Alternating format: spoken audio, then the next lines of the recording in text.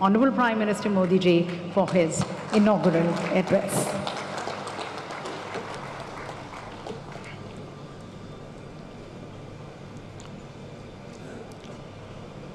उत्तर प्रदेश के लोकप्रिय मुख्यमंत्री योगी आदित्यनाथ जी, केंद्रीय मंत्रिमंडल में मेरे सहयोगी श्री पुरुषोत्तम रूपाला जी अन्य मंत्रीगण सांसदगण इंटरनेशनल डेयरी फेडरेशन के अध्यक्ष, प्री बजाले जी आईडीएफ के डीजी कैरोलिन हेमंत जी यहाँ उपस्थित अन्य महानुभावी, देवी और सज्जनों, मुझे खुशी है कि आज डेयरी सेक्टर के दुनिया भर के एक्सपर्ट्स और इनोवेटर्स भारत में एकजुट हुए हैं। मैं वर्ल्ड डेयरी समिट में अलग अलग देशों में अलग देशों से आए हुए सभी महानुभावों का, भारत के कोटि कोटि पशुओं की तरफ़ से, भारत के कोटि कोटि नागरिकों की तरफ़ से, भारत सरकार की तरफ़ से हृदय से बहुत बहुत स्वागत करता हूँ। डेयरी सेक्टर का सामर्थ्य ना सिर्फ़ ग्रामीण अर्थव्यवस्था को गति देता है, बल्कि ये दुनिया भर में करोड़ों लोगों की आजीविका का भी प्रमुख साधन है। मुझे विश्वास है, ये समिट आइडियाज़, टेक्नोलॉजी, एक्सपर्टाइज और डेयरी सेक्टर से जुड़ी परंपराओं के स्तर पर एक दूसरे की जानकारी बढ़ाने और एक दूसरे से सीखने में बहुत बड़ी भूमिका निभाएगी। साथियों, आज का ये आयोजन ऐसे समय में हो रहा है जब भारत ने अपनी आज़ादी के 75 वर्ष पूरे किए हैं, ये भी संयोग है कि आज के इस आयोजन से भारत के 75 लाख से ज़्यादा डेयरी किसान भी टेक्नोलॉजी के माध्यम से इस कार्यक्रम में हमारे साथ जुड़े हुए हैं। इस तरह की समिट के लिए और उसमें लास्ट माइल बेनिफिशियरी हमारे ऐसे ही किसान भाई बहन होते हैं। मैं वर्ल्ड डेयरी समिट में अपने किसान साथियों का भी स्वागत करता हूँ, उनका अभिनंदन करता हूँ। साथियों, पशुधन और दूध से जुड़े व्यवसाय भारत की हज़ारों वर्ष पुरानी संस्कृति का अभिन्न हिस्सा रहा है। हमारी इस विरासत ने भारत के डेयरी सेक्टर को कुछ विशेषताओं से सशक्त कर दिया है। इस समिट में दूसरे देशों से जो एक्सपर्ट आए हैं, मैं उनके सामने इन विशेषताओं का विशेष रूप से उल्लेख करना चाहता हूँ। साथियों, विश्व के अन्य विकसित देशों से अलग, भारत में डेयरी सेक्टर की असली ताकत छोटे किसान है। भारत के डेयरी सेक्टर की पहचान मास प्रोडक्शन से ज़्यादा प्रोडक्शन बाय मासिस की है। भारत में डेयरी सेक्टर से जुड़े अधिकांश किसानों के पास या तो एक पशु है, दो है या तीन पशु है। इन्हीं छोटे किसानों के परिश्रम और उनके पशुधन की वजह से आज भारत पूरे विश्व में सबसे ज़्यादा दुग्ध उत्पादन करने वाला देश है। आज भारत के आठ करोड़ से ज़्यादा परिवारों को ये सेक्टर रोज़गार मुहैया कराता है। भारत के डेयरी सेक्टर की यूनिकनेस आपको अन्य जगह पर शायद ही कभी कहीं मिल जाए। आज वर्ल्ड डेयरी समिट में इसका ज़िक्र मैं इसलिए भी कर रहा हूँ क्योंकि विश्व के अनेक गरीब देशों के किसानों के लिए ये एक बेहतरीन बिज़नेस मॉडल बन सकता है। साथियों, भारत के डेयरी सेक्टर की इस खासियत को एक और यूनिकनेस से ज़बरदस्त सपोर्ट मिलता है। हमारे डेयरी सेक्टर की दूसरी विशेषता है भारत का डेयरी कोऑपरेटिव सिस्टम। आज भारत में डेयरी कोऑपरेटिव का एक ऐसा विशाल नेटवर्क है जिसकी मिसाल पूरी दुनिया में मिलना मुश्किल है। ये डेयरी कोऑपरेटिव्स देश के दो लाख से ज़्यादा गाँवों में, करीब करीब दो करोड़ किसानों से दिन में दो बार दूध जमा करती है और उसे ग्राहकों तक पहुंचाती है। इस पूरी प्रक्रिया में बीच में कोई भी मिडलमैन नहीं होता। और ग्राहकों से जो पैसा मिलता है, उसका 70 प्रतिशत से ज़्यादा सीधा किसानों के जेब में ही जाता है। इतना ही नहीं, अगर मैं गुजरात राज्य की बात करूँ तो ये सारे पैसे सीधे महिलाओं के बैंक अकाउंट में जाते हैं। पूरे विश्व में इतना ज़्यादा रेशियो किसी और देश में नहीं है। अब तो भारत में हो रही डिजिटल क्रांति की वजह से डेयरी सेक्टर में ज़्यादातर लेन देन बहुत तेज़ी गति से होने लगी है। मैं समझता हूँ, भारत की डेयरी कोऑपरेटिव्स की स्टडी उनके बारे में जानकारी। डेयरी सेक्टर में डेवलप किया गया डिजिटल पेमेंट सिस्टम। दुनिया के बहुत से देशों के किसानों के बहुत काम आ सकता है। इसलिए भारत के डेयरी सेक्टर की एक और बड़ी ताकत है, एक और यूनिकनेस है, हमारी इंडिजिनियस स्पीशीज भारत के पास गायों की, भैंसों की जो स्थानीय ब्रीड है, वो कठिन से कठिन मौसम में भी सरवाइव करने के लिए जानी जाती है। मैं आपको गुजरात की बन्नी भैंस का उदाहरण देना चाहूँगा। ये बन्नी भैंस कच्छ के रेगिस्तान और वहाँ की परिस्थितियों से ऐसी घुल मिल गई है कि देखकर कई बार हैरानी होती है। दिन में बहुत ही भयंकर धूप होती है। बहुत गर्मी होती है, कड़क धूप होती है।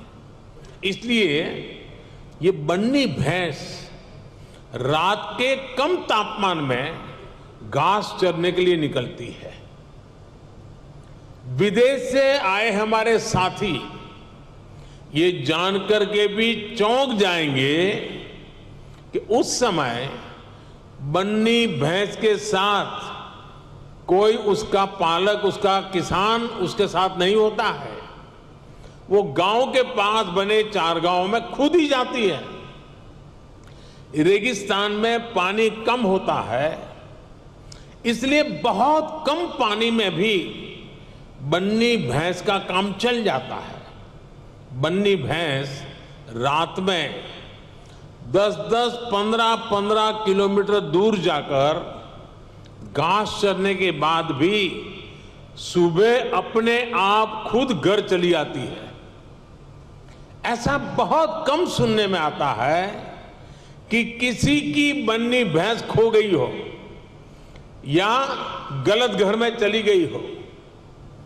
मैंने आपको सिर्फ़ बन्नी भैंस का ही उदाहरण दिया है, लेकिन भारत में मुरा मेसाना जाफराबादी, नीली रवि पंडरपुरी जैसी अनेक जात नस्लें भैंस की आज भी अपने अपने तरीके से विकसित हो रही है।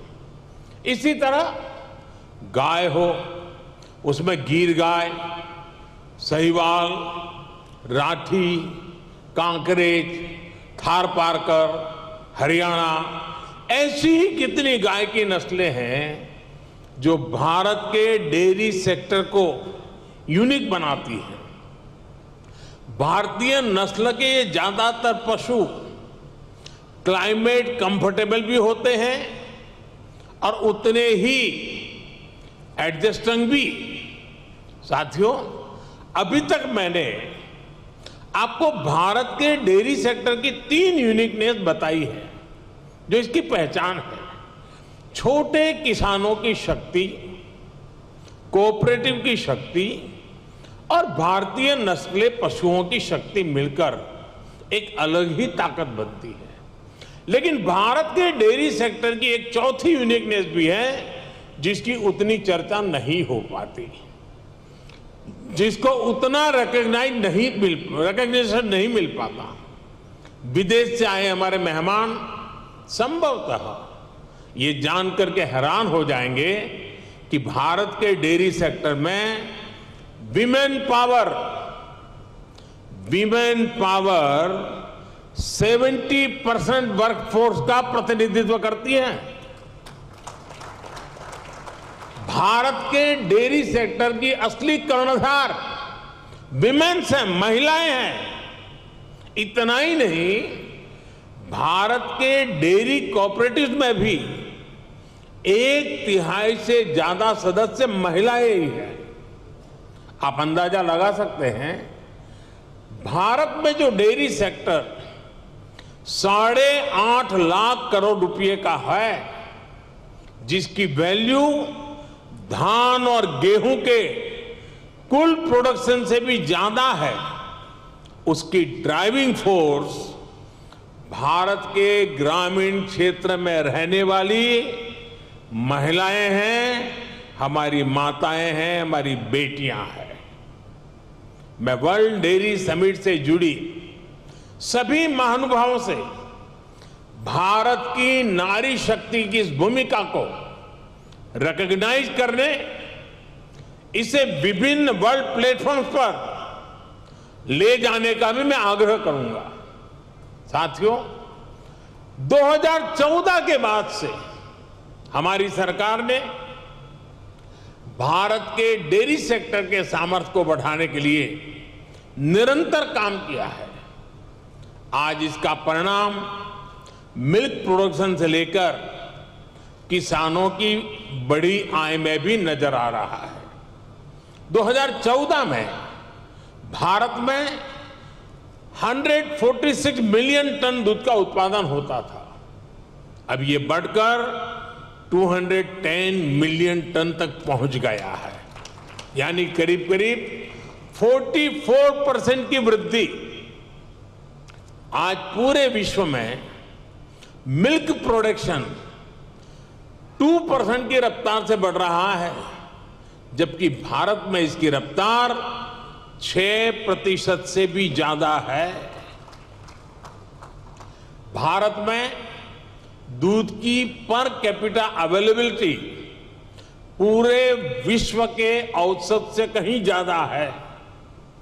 बीते तीन चार वर्षों में ही भारत के छोटे किसानों ने, बैंक खातों में हमारी सरकार ने करीब दो लाख करोड़ रुपए सीधे ट्रांसफ़र किए हैं। इसका बहुत बड़ा हिस्सा डेयरी सेक्टर से जुड़े किसानों के खातों में भी आया है। साथियों, आज हमारा फोकस देश में एक संतुलित डेयरी इकोसिस्टम के निर्माण पर है। एक ऐसा इकोसिस्टम जिसमें हमारा ध्यान दूध और उससे जुड़े उत्पादों की क्वालिटी पर तो है ही, बल्कि दूसरी चुनौतियों के समाधान पर भी है। किसान को अतिरिक्त आय, गरीब का सशक्तिकरण, स्वच्छता, केमिकल फ्री खेती, क्लीन एनर्जी और पशुओं की केयर, ये सभी आपस में जुड़े हुए हैं। यानी हम डेयरी सेक्टर को, पशुपालन को भारत के गाँवों में ग्रीन और सस्टेनेबल ग्रोथ का बहुत बड़ा माध्यम बना रहे हैं। राष्ट्रीय गोकुल मिशन, गोवर्धन योजना, डेयरी सेक्टर का डिजिटाइजेशन और पशुओं का यूनिवर्सल वैक्सीनेशन। इसी दिशा में हो रहे प्रयास है। इतना ही नहीं। भारत ने जो सिंगल यूज़ प्लास्टिक बंद करने का जो अभियान चलाया है, वह एनवायरमेंट की दृष्टि से तो महत्व का है ही। लेकिन जो भी जीव दया में विश्वास करते हैं, जो पशुधन में उसके कल्याण में विश्वास करते हैं, उनको मालूम है कि प्लास्टिक पशुओं के लिए कितना खतरनाक बनता जा रहा है। गाय और भैंस के लिए कितना खतरनाक बनता जा रहा है। उस सिंगल यूज़ प्लास्टिक को भी बंद करने का, खत्म करने का हमने बहुत लगातार प्रयास आरंभ किया है। साथियों, भारत के डेयरी सेक्टर का जितना बड़ा स्केल है, उसे साइंस के साथ जोड़कर और विस्तार दिया जा रहा है। भारत डेयरी पशुओं का सबसे बड़ा डेटाबेस तैयार कर रहा है। डेयरी सेक्टर से जुड़े हर पशु की टैगिंग हो रही है। आधुनिक टेक्नोलॉजी की मदद से हम पशुओं की बायोमेट्रिक पहचान कर रहे हैं। हमने इसे नाम दिया है पशु आधार। पशु आधार के ज़रिए पशुओं की डिजिटल आइडेंटिफिकेशन की जा रही है, जिससे उनकी सेहत पर नज़र रखने के साथ साथ डेयरी प्रोडक्ट से जुड़े मार्केट को विस्तार देने में मदद मिलेगी। साथियों आज भारत का बहुत बड़ा फोकस पशुपालन के क्षेत्र में उद्यमशीलता को एंटरप्राइज को बढ़ावा देने पर भी है। डेयरी सेक्टर से जुड़े छोटे किसानों की ताकत को हम फार्मर प्रोड्यूसर ऑर्गेनाइजेशंस और महिलाओं के सेल्फ हेल्प ग्रुप के माध्यम से एकजुट कर रहे हैं। इनको बड़ी मार्केट फोर्स बना रहे हैं। अपने युवा टैलेंट का उपयोग हम एग्रीकल्चर और डेयरी सेक्टर्स में, स्टार्टअप्स के निर्माण में भी कर रहे हैं। आपको ये जानकर भी अच्छा लगेगा कि भारत में बीते पाँच छह साल में एग्रीकल्चर और डेयरी सेक्टर में एक हज़ार से अधिक स्टार्टअप बने हैं। साथियों भारत किस तरह अनोखे प्रयास कर रहा है, उसका एक उदाहरण गोबर धन योजना भी है। अभी हमारे रूपाला जी ने गोबर का इकोनॉमी में बढ़ता महत्व का वर्णन किया था। आज भारत में पशुओं के गोबर से बायोगैस और बायो सीएनजी बनाने का एक बहुत बड़ा अभियान चल रहा है। हमारी कोशिश है कि डेयरी प्लांट्स अपनी ज़रूरत की अधिकतर बिजली गोबर से ही पूरी करें। इससे किसानों को गोबर का भी पैसा मिलने का रास्ता बन रहा है। इस प्रक्रिया में जो ऑर्गेनिक खाद बनती है, उससे किसानों को खेती के लिए एक सस्ता माध्यम मिल जाएगा। इससे खेती की लागत भी कम होगी और मिट्टी भी सुरक्षित रहेगी। भारत में आज नेचुरल खेती पर नेचुरल फ़ार्मिंग पर भी अभूतपूर्व बल दिया जा रहा है, जिसमें पशुओं की बहुत बड़ी भूमिका है। साथियों, मैं अक्सर कहता हूँ कि खेती में मोनोकल्चर ही समाधान नहीं है, बल्कि विविधता बहुत आवश्यकता है। ये पशुपालन पर भी लागू होता है। इसलिए आज भारत में देसी नस्लों और हाइब्रिड नस्लों दोनों पर ध्यान दिया जा रहा है। इससे जलवायु परिवर्तन से होने वाले नुकसान की आशंकाओं को भी कम किया जा सकेगा। साथियों, एक और बड़ा संकट पशुओं को होने वाली बीमारियों का है। पशु जब बीमार होता है तो एक किसान के जीवन को प्रभावित करता है, उसकी आय को प्रभावित करता है।